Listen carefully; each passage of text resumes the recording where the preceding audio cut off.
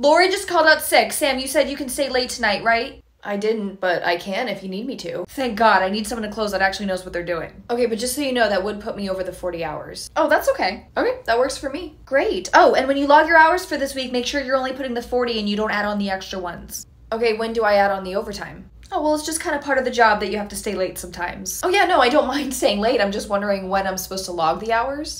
Oh, you don't? Then how do I get paid? Like I said, it's all just part of the job. Yeah, so is getting paid. Well, don't forget we're having a pizza party for the employees at the end of the month, so everything will just, it'll all even out. Yeah, I'd rather just get paid and not go to the pizza party. But we're giving out prizes. Okay, well, unless the prize is my overtime paycheck, I'm not going, and I'm not gonna stay late and not get paid. And it's coming across like you're only here for the paycheck. You know, that is the only reasonable thing you've said this entire conversation. See you Monday.